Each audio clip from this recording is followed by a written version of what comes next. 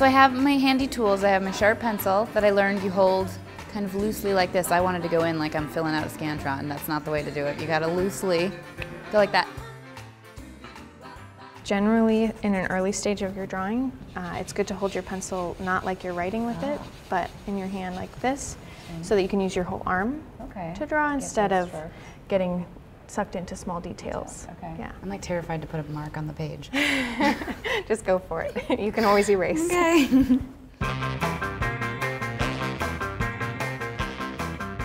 Overall, um, I would reinforce straight lines as you're sketching in the early stages. Okay. Because they're kind of easier to see what's wrong than a curve. So if Okay. you can use your pencil, hold it out, uh, keep your arms straight whenever you're measuring or comparing angles, Okay. um, and stand exactly where you're standing for your drawing. So then you can compare here to here. And really, your angle looks pretty good. I'm seeing this Yeah. looks great. She looks one-legged. I'll have to fix that. You're getting a good sense of the torso and even the leg bending underneath the other one. Yeah, it's a tricky pose because it gets foreshortened from both ends.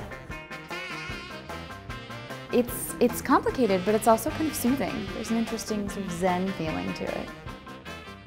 Because it's a reclining pose, we want to feel like she's on the ground. We want to mm-hmm. feel a sense of connection with what she's resting on. Okay. So that we start to feel like she's on something flat. Okay. And then it starts to make more sense, the positioning of the body. I like that my sketch looks like a person. You can tell I'm trying to draw a reclining human being. Um, so definitely, I'm pleased with that.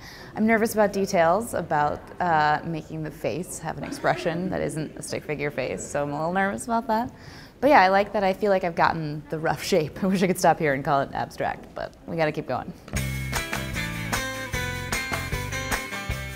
Generally, I feel like this is more like an idea of what we think a head looks like. Yeah. Kind of like if you were to draw an eye and you, you know, you're thinking it just almond, looks like yeah. this.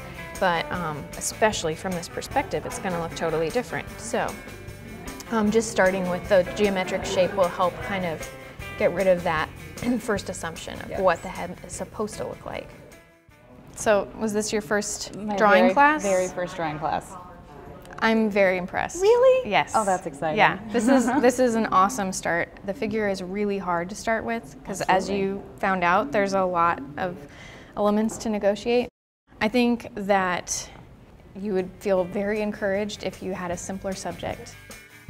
Figure drawing is not easy. I didn't expect it to be, but it was definitely challenging. Um, it's helpful to have someone really talented walking you through it. That is definitely a bonus.